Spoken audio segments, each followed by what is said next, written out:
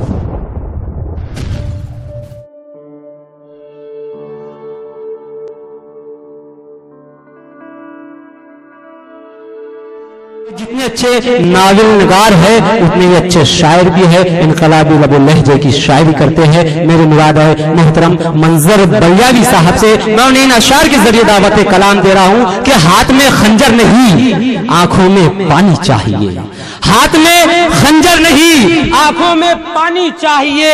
या खुदा दुश्मन भी मुझको खानदानी चाहिए। और तुम रखो ये पीले मफलर और खाकी चड्डिया। हम पुराने हैं, हमें पगड़ी पुरानी चाहिए और सिर्फ़ सिर्फ़ कब्रों की जमीनें देके मत बहलाइए हमें। राजधानी दीदी हमने राजधानी चाहिए। इस्तेमाल कीजिए मोहतरम मंजर अस्सलाम वालेकुम अर्ज़ किया है कि चाय के ढाबे पे एक साहब लगे मचाने शोर। चाय के ढाबे पे एक साहब लगे मचाने चाय के ढाबे पे एक साहब लगे मचाने शोर। अपने देश के नेता सारे के सारे हैं चोर। आह, क्या बात है? वाह वाह वाह वाह वाह वाह। आज तक आज तक यह बात होती चली आई है कि शायर बड़े मक्कार होते हैं शायर बड़े ऐसे होते हैं। मैं कहता हूँ शायर से बड़ा वफादार कोई नहीं होता। वाह, वाह। शोर सुनिएगा। चाय के ढाबे पे एक साहब लगे मचाने शोर। अपने देश के नेता सारे के सारे हैं चोर। एक शायर था सह न पाया नेता का अपमान। एक शायर था सह न पाया नेता का अपमान। बोला चोर जिसे कहते हो वो है बड़े महान। अरे ये ना होते तो हम सबको यहाँ पे कौन बुलाता?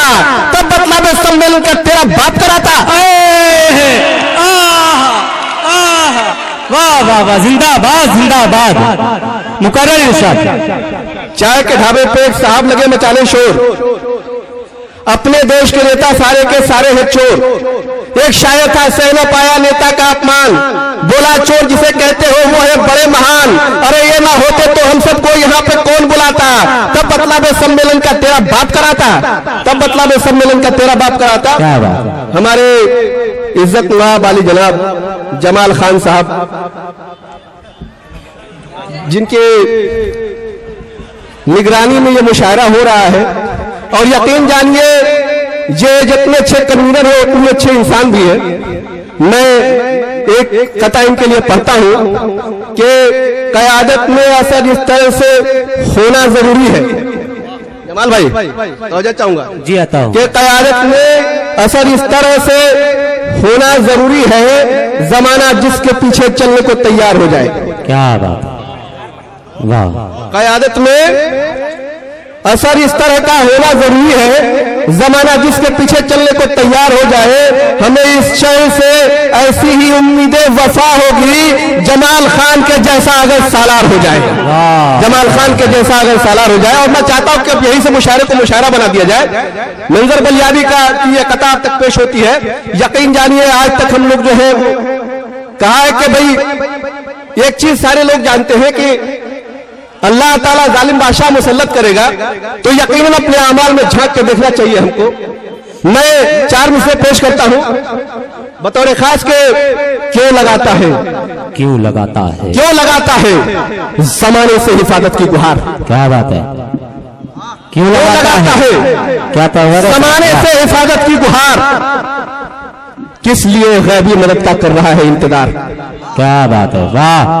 क्यों लगाता है जमाने से हिफाजत की गुहार? किस लिए गैबी मदद का कर रहा है इंतज़ार? और तुझ में गारी ईमान बाकी हो। खुदा के वास्ते कश्तियाँ पहले जला दे तब मिलेंगे रास्ते। वाह वाह वाह वाह। क्यों लगाता है जमाने से हिफाजत की गुहार। किस लिए गैबी मदद का कर रहा है इंतज़ार। तुझ में गर ईमान बाकी हो खुदा के वास्ते, कश्तियाँ पहले जला दे, तब मिलेंगे रास्ते। और शेर कहा है कि वो दौलत हज़ारों में फिर सबकी तोजह चाहूँगा कि वो दौलत जो के औलादों को नाफरमान कर डाले। कुरान का कौन है? कुरान का कौन है? एक एक शख्स अगर ये शेर सच्चा हो तो मेरी आवाज़ से आवाज़ मिलाए कि वो दौलत जो के औलादों को नाफरमान कर डाले, कहीं बेहतर है उससे कि खसारा कर लिया जाए। वो दौलत जो कि औलादों को नाफरमान कर डाले कहीं बेहतर है उससे के खसारा कर लिया जाए और जो जायज़ ना हो हम पे उस निवाले से तो अच्छा है शिकन पे बाप के पत्थर गुजारा कर लिया जाए। वाह जो जायज़ ना हो हम पे उस निवाले से तो अच्छा है। जो जायज़ ना हो हम पे उस निवाले से तो अच्छा है शिकन पे बाँध के पत्थर गुजारा कर लिया जाए। और ये शेर हुआ है कि अगर हो दीन का जज्बा तेरे दिल में तो आए मोमिन। यकीन जानिए पीछे तक के लोग इस मेरी आवाज़ जहाँ तक जा रही है शेर पे कोई भी शख्स खामोश नहीं रहना चाहिए। अगर उसके दिल में ईमान का जज्बा है तो। अगर हो दीन का जज्बा तेरे दिल में तो ऐ मोमिन। तो कागज़ की ही कश्ती से समंदर पार कर देगा। क्या बात है। अगर हो दीन का जज्बा तेरे दिल में तो है मोमिन तू कागज़ की कश्ती से समंदर पार कर देगा। यकी दिल में खलीलुल्लाह सा पैदा तो कर पहले खुदा भी नारे नमरूद को गुलजार कर देगा। वाह वाह वाह वाह जिंदाबाद जिंदाबाद जिंदाबाद। में यकी दिल में खलीलुल्लाह सा पैदा तो कर पहले। खुदा भी नारे नमरूद को गुलजार कर देगा। और ये शेर यहाँ से कहा है कि दहकती आग में जिस तरह अंगारों का कब्जा है। नज़र बिजनौरी साहब तवज्जो चाहूँगा कि दहकती आग में जिस तरह अंगारों का कब्जा है फलक पे जिस तरह से चाँद का तारों का कब्जा है। फलक पे जिस तरह से चाँद का तारों का कब्जा है और कभी इंसाफ मजलूमों की आँखें पढ़ नहीं सकता कि जब तक अदलिया पर इन गुनहगारों का कब्जा है। जिंदाबाद जिंदाबाद जिंदाबाद वाह वाह वाह वाह वाह। बहुत खूब बहुत खूब कि कभी इंसाफ मजलूमों की आँखें पढ़ नहीं सकता कि जब तक अदलिया पर इन गुनहगारों का कब्जा है और शेर कहा है कि जले अपने यकीन जानिए इस तरीके से लोग जल चुके हैं। हमारा देश पता नहीं कौन सी राह पे जा रहा है। मंजर पंजाबी का ये ये चार मिसरा सुनिए और अगर अच्छा लगे तो दवाओं से नवाजिए। दिए कहा है कि जले अपने मकानों से उठा के एक एक तिनके। जले अपने मकानों से। जले अपने मकानों से उठा के एक एक तिनके। हमारा सब्र फिर एक आशियाँ तैयार कर देगा। वाह वाह बहुत खूब बहुत मकानों बहुत से वाह एक एक तिनके। हमारा सब्र फिर एक आशियाँ तैयार कर देगा। और सितम पर तुम सितम करते रहे तो दिन फिर से तुम्हारा जुल्म हमको नींद से बेदार कर देगा। वाह वाह वाह वाह बहुत खूब बहुत खूब बहुत खूब जिंदाबाद जिंदाबाद। सितम पर तुम तुम सितम करते रहे तो एक दिन फिर से तुम्हारा जुल्म हमको नींद से बेदार कर देगा और एक नज्म मैं पेश करने की इजाज़त चाहता हूँ। हज़ार महफिल हालात हाजिरा जो है उसको मैंने रकम करने की कोशिश की है। कहा है कि वफा के हाथों में सारा निज़ाम देना दे देंगे। जफा के वफा के हाथों में सारा निज़ाम दे देंगे।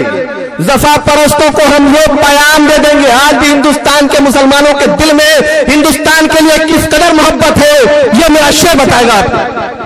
जी आता है। कि वफा परस्तों वफा के हाथ में सारा निज़ाम दे देंगे। जफा परस्तों को हम ये पैगाम दे देंगे। और आज भी कहते हैं ईमान की कसम खा के आज आई जो वतन पे तो जान दे देंगे। हाँ हाँ हाँ हाँ जिंदाबाद आज आई जो वतन पे तो जान दे देंगे। और शेर कहा है यहाँ से के आज इस मुल्क में सहमे हुए नजारे हैं। वाह। हजरा ने करामी हौसला अफजाई करे तो पढ़ने में मज़ा है कि आज इस मुल्क में सहमे हुए नजारे हैं। हमको मालूम है हमें पता है निशाने पे हम तुम्हारे हैं। बिना कसूर ही सूली पे चढ़ा देते हो। तुझमें एक वैशी दरिंदे का असर देखा है आग से आग बुझाने का हुनर देखा है। तुझमें एक। वैशी दरिंदे का असर देखा है। आग आग से आग बुझाने का हुनर देखा है। और यकीन जानिए अब इंसान का जब्त वहाँ तक पहुँच चुका है। मंजर बलियावी का ये पैगाम के हमारे सब्र का हमारे सब्र का। हमारे सब्र का दामन कभी तो छूटेगा। हमारे सब्र का दामन कभी तो छूटेगा। हमारे सब्र का जी। कि हमारे सब्र का दामन कभी तो छूटेगा। ये बात जब्त का एक दिन ज़रूर टूटेगा। क्या बात है वाह। बहुत खूब बहुत। तो अरे सब्र का दामन कभी तो छूटेगा। ये बाँस जब्त का एक दिन ज़रूर टूटेगा। तेरे इन जुल्मों का जब भी ख्याल आएगा हमारे खून में यकीनन उबाल आएगा। सफों को चीरते वैशी घटा से निकलेंगे। हमारे हौसले सहरे वफा से निकलेंगे। हा हा हा वाह। जिंदाबाद। सिर्फ़ लाशों पे खड़ी है ये हुकूमत तेरी। सिर्फ़ सिर्फ़ लाशों पे खड़ी है ये हुकूमत तेरी। सिर्फ़ लाशों पे हुजूर आप लोग ये शेर सुनते जाइए इंशाल्लाह आप लोग साथ ले जाएँगे कि सिर्फ़ लाशों पे खड़ी है ये हुकूमत तेरी। आज नजीब की माँ दर दर फटकती है। आज अपने लाल को ढूंढती है। क्या बात है। यकीन जानिए जब ये हम पढ़ते हैं या सुनते हैं तो कलेजा फट जाता है। मंजर पंजाबी का ये पैगाम सुने असद वसी साहब। हमारे इज़्ज़त नवाब के सिर्फ़ लाशों पे खड़ी है ये हुकूमत तेरी। खाक मिल जाएगी एक रोग ये शोहरत तेरी। हज़ारों माओ के दिल से जो आह निकलेगी, तेरे वजूद को करने तबाह निकलेगी हज़ारों माओ के दिल से जो आह निकलेगी तेरे गुरूर को करने तबाह निकलेगी और तू जो तू जो फिरौन सा जालिम बना खुमार में है तेरा गुरूर भी मूसा के इंतज़ार में है आह, जिंदाबाद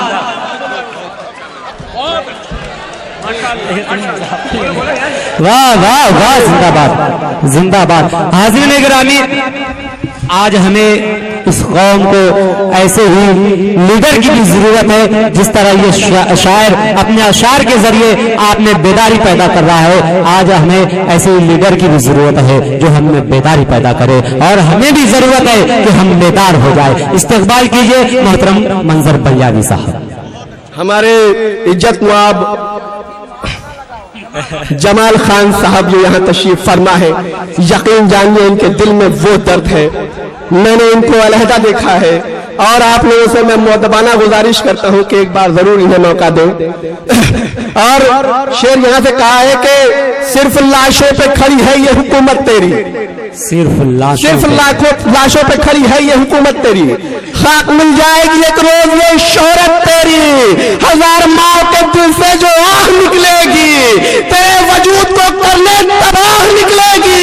और तू जो फिरौन